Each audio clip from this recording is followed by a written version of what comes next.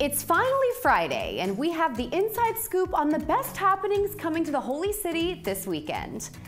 Pure Theater is kicking off the year with a one-of-a-kind production. Tonight is opening night of the Lehman Trilogy, a play spanning over a century and featuring the lives of three brothers.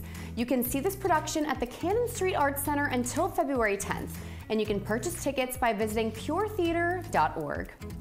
The International African American Museum is holding a public celebration on Martin Luther King Jr. Day. I Am King will feature local vendors, food trucks, activities, and complimentary admission to the museum, which is limited and on a first come, first served basis. This is happening on Monday at the museum from noon to 5.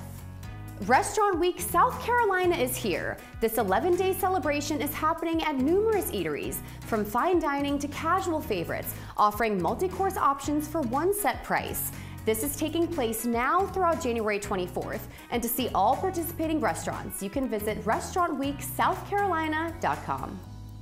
And finally, we wanted to remind you about the celebrations happening this weekend in honor of Dr. Martin Luther King Jr. Day.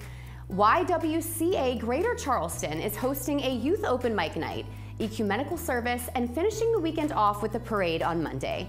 All of these events are free to attend, and you can visit ywcagc.org for more information. I hope we've added some excitement to your weekend plans. And don't go anywhere just yet. We will be right back after the break with more Fox 24 News Now.